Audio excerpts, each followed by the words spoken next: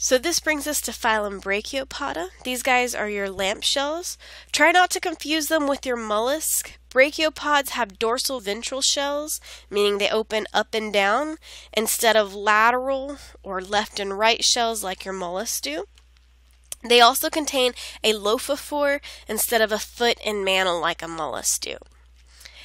They attach to the substrate via stalks. And you can see here, this is the lophophore inside this lamp shell. So be careful on your lab practical. Make sure that you can distinguish between a lamp shell and a mollusk. And you'll be looking for those um, lophophores or a foot versus mantle, or a foot and mantle. So here is another brachiopod. You can clearly see the lophophore inside the lamp shell. So here is another brachiopod. You can clearly see the lophophore.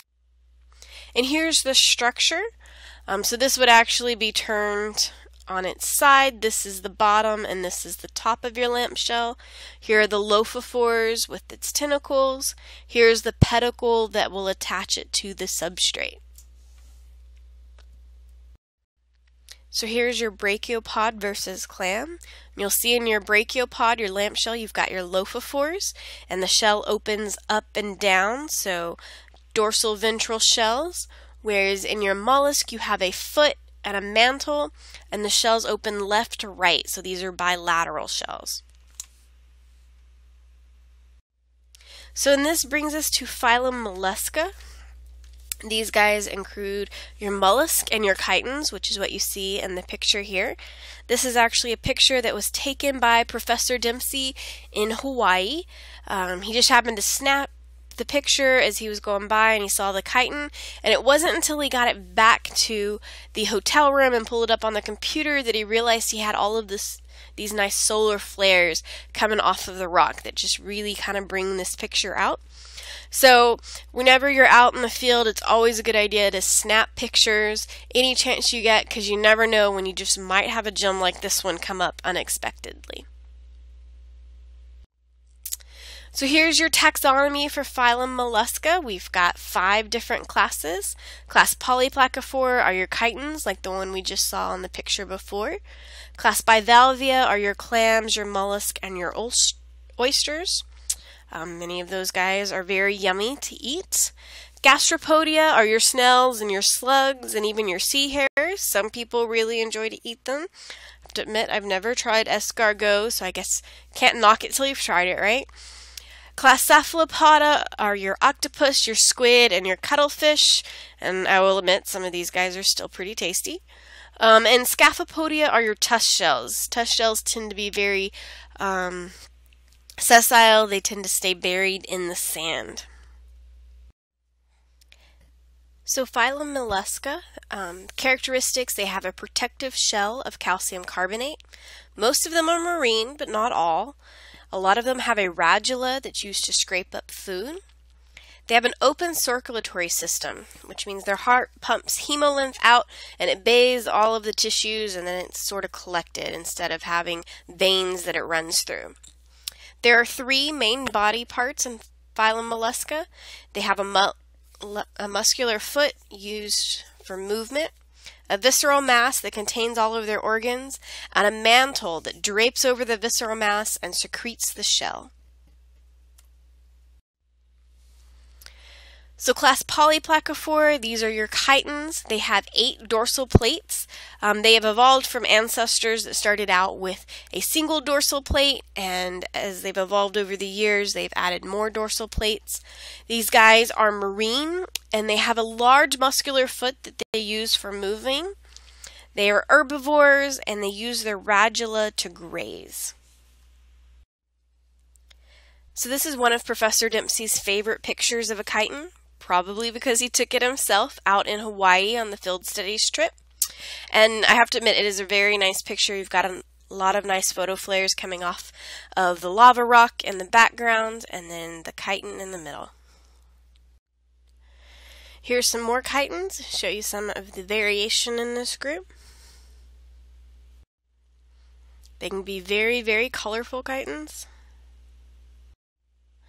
or very camouflaged chitons. Colorful again. And that brings us to class Gastropodia, your sea snails, land snails, and sea hares, and slugs as well. So, class Gastropodia, like I said, they're your snails. They also include your nudibranchs. Most of these guys have a coiled shell. And in their adult stage, they're technically asymmetrical, but they belong to Bilateria because before they secrete that shell, they are actually bilateral. And when they secrete the shell, they do a torsion, which is a twisting, 180 degree twist of their visceral mass. It actually puts their anus um, above their head inside the shell not exactly where I would want that placed, but that's where it is. Um, and once they do that 180 degree twisting, they're no longer bilateral. But since they start out bilateral, they belong in the group. Um, many of these guys have distinct head and eyes. They have a radula for feeding and a foot for locomotion. And they either have gills or a vascularized mantle. So here's the basic anatomy of one of these guys, and you can see this portion here was originally going to be the tail end, and it did a 180 degree twist to sit up inside the gills, and that puts the anus here on top of the back. And once that 180 degree torsion happens, um, they're no longer bilateral. So here's a look at some of the aquatic ones. I like this one. He looks like a grumpy um, snail. Not all of these guys are harmless. This is the African giant snail. It's an invasive species that causes damage to crops and other plant life here in the United States. Um, it can also harbor parasitic diseases such as meningitis. Um, humans can contract the meningitis from this snail by eating raw or under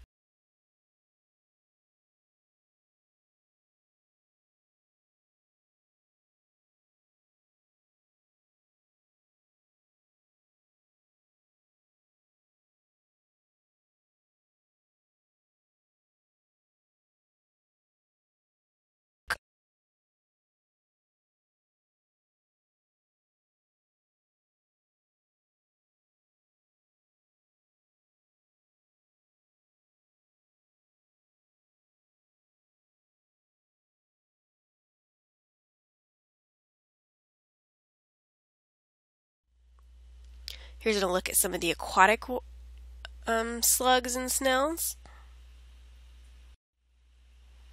More aquatic ones. These guys are probably my favorite. They've got their neon on, ready for the black lights. Um, maybe they're going to a, a techno rave. This one looks like he's ready for Christmas. As you can see, there's a lot of diversity in this group. You even have birthday cake flatworms, apparently. And we even have smiling sea slugs.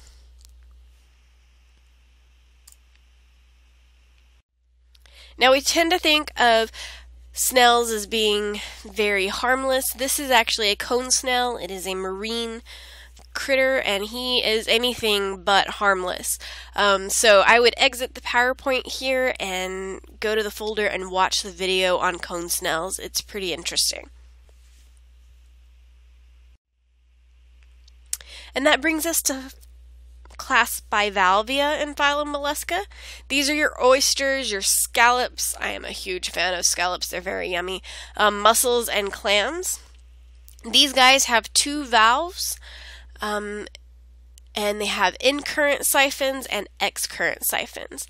They are filter feeders. They pull water in through the in current siphons, it flows over the gills. Food is caught up, um, is caught and uptaken into the mouth, and then that water flows out through the ex current siphons. They do not have a radula, but they do have a web shaped muscular foot for locomotion. Very poor cephalization in these guys. They really don't have a head, um, but they do have adductor muscles, which are very strong and hold their shells tightly together. This is a jeweled sea scallop. Looks like something you might see out of Little Mermaid with all the little jewels up top and on the bottom. But you can see the nice lophophore in the middle of the scallop. Here's a clam. You can go out here and watch. There are two videos for clams, um, both showing how they do locomotion with their foot. Very interesting videos. I recommend you watch them. More marine clams, and in this picture you can actually see the two siphons. So here's one siphon and here's the other. One would be the in current, one would be the ex current. I can't tell you which is which from this picture, but these are where it pulls in its water and um, runs it over its gills and then sends it back out. So here's another bivalve. Notice the two siphons. One's an in current and one's an ex current siphon. Here are the microscopic um, clams. These would be very early larval stages. The very early larval stages of clams are actually parasitic to fish. They will attach to the gills and hang on for a ride. Um, and then as they start to mature, they'll fall off and float down to the bottom and find a location for their more permanent home. Here's your clam anatomy. That's what you probably went over in lab.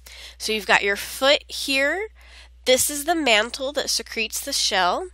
Here's your in current siphon. Water flows in it over the gills to oxygenate them.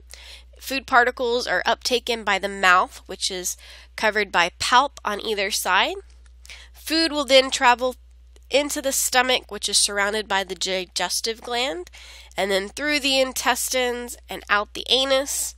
The water that was taken in through the in current siphon will flow out the ex current siphon, taking any waste products from the anus along with it. And they also have a heart here. It's an open circulatory system. And here are the adductor muscles. You have a posterior and an anterior. These are very strong muscles that hold the two halves of the shelf together.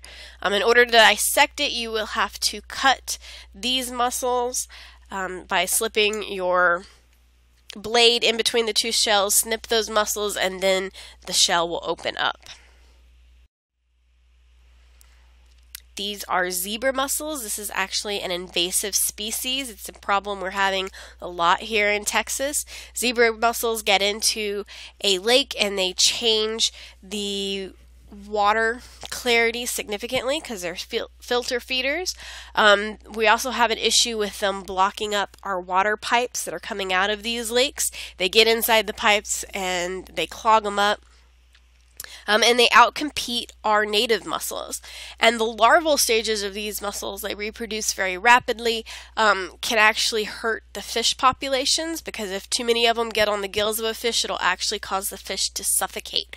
So they're changing our ponds and lakes in this area significantly, and the way these guys are carried from one lake to another is usually by boats. So if you're a boater, these guys are the reasons you need to dry your boat off well each time after you use it um, and empty any of the reserve tanks completely. And then, um, if you don't let it air dry for a long time in between uses, you need to power hose down, power washed the outside of it down so that you're not taking zebra mussels from one lake and introducing them into a new lake. Um, if you don't drain and dry your boats afterwards now, Texas Parks and Wildlife can actually write you a ticket for it.